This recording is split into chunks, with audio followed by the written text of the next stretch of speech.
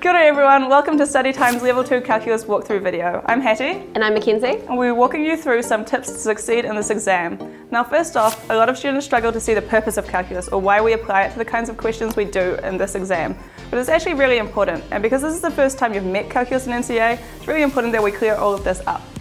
Now, for a lot of the questions, they're all sort of centered around this main idea of finding the rate of change.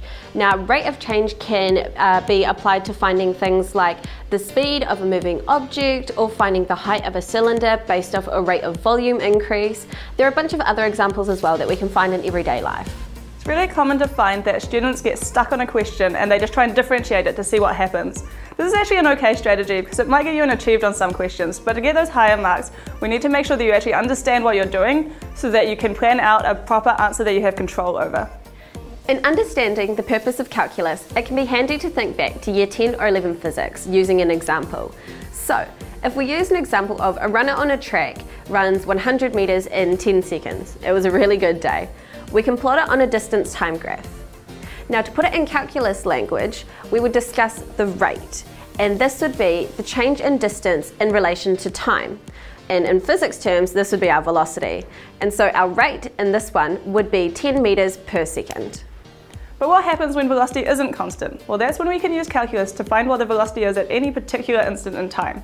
First we just differentiate the equation to find the gradient, which is the same as the velocity, then we plug in the given time to generate the velocity for any point on the motion graph. This idea is really the main thing behind all of calculus. And all this exam is going to ask you to do is basically, it's going to give you a bunch of information where something's missing, and it's going to ask you to find the missing bits. For example, it could also ask you to find the point in time when the velocity was 4. This is just the opposite of what we were doing before. So instead of plugging in a time and finding a velocity, you'd plug in the velocity as 4 and solve backwards to find the time. Some general tips for the standard include nailing the questions that ask you for the gradient function of x. They can, drawing these up can be a little bit annoying at first, but they're well worth it. If you can understand why a parabola becomes a linear equation after differentiation, it really helps your general understanding of calculus. If you have another question that you're feeling a little bit unsure of, try to draw it out. This can be really helpful in giving you some context for the question and let you know what you're really searching for, whether this be a graph or just sketching the movement of an object. On the most basic level, you want to be really comfortable with differentiating and anti-differentiating. Now obviously these would have been about the first things you learned in class, and that's because you really can't progress without them. There's no point staring at an exam paper not being able to do anything because you didn't practice those basic skills. So make sure you do heaps of basic problems before you try and move on to anything else. Some tips to help you with this. For example, if you have x on the bottom of a fraction, like 1 over x, really helps to turn this into a negative power before trying to differentiate or anti-differentiate. So 1 over x would become x to the power of negative 1.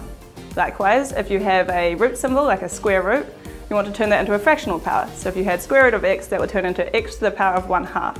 And lastly, we can't stress this enough, don't forget the plus c when you're anti-differentiating. A question NCEA almost always throws in is about local minimums and maximums on your graph, and this is what we call our turning points. Now the gradient at a turning point is zero, and what this means is that the rate at this point of time is also going to be zero. Being familiar with the different types of graphs can also be really, really helpful in understanding how many turning points there are going to be. We should also mention that there's a third option for when the gradient is negative, and this is called a point of inflection.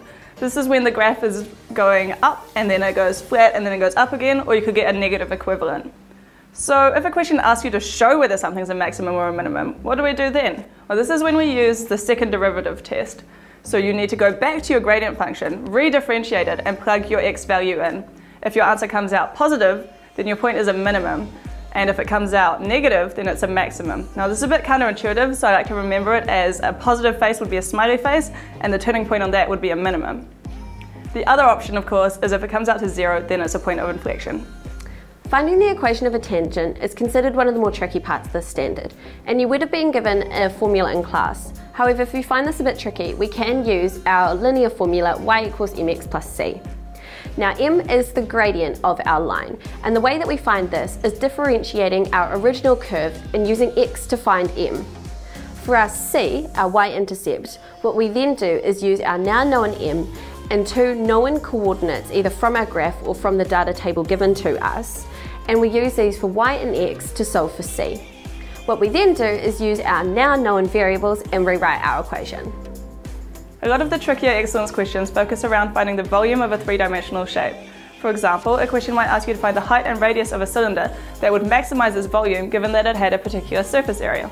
The whole trick here is to use that surface area equation and rearrange it so that you have the height in terms of the radius. Then substitute this back into the volume equation. The idea is to make sure that your volume equation only has one variable in it, the radius, so that you can easily differentiate it. Now differentiate it and set it equal to zero so you can solve to find the radius that would give the maximum volume. Many of the lower level E questions involve kinematics, and one key tip to remember about kinematics is that it stands for spatium, which in uh, Latin it actually means space, and this is why we denote distance with an S. So in these kind of questions, all they really do require you to do is figure out whether or not you need to integrate or differentiate to find the equation that you're searching for. Now, in knowing how to do either differentiation or integration, uh, you have to use SVA. And if you have trouble remembering the order of this, you can compare it to PVA glue, like the stuff in primary, and that order is the same. Lastly, it can be really helpful to use a timeline of either going left to right or up or down, depending on the context of the question. What can be useful here is to put in the point where you begin to measure your rate, and any other relevant information such as your motion and the point that you're looking for. So this has been our Level 2 strategy video for calculus. We've walked you through some key tips to do well on this exam, but we haven't covered everything. We'd really recommend going through a few years of past papers to get a feel for what to expect, and also checking out the study time walkthrough guides. They're available for free online or to purchase in print with next day delivery, and they're designed to walk you through everything you need to do well in this exam. Thanks for watching guys and good luck.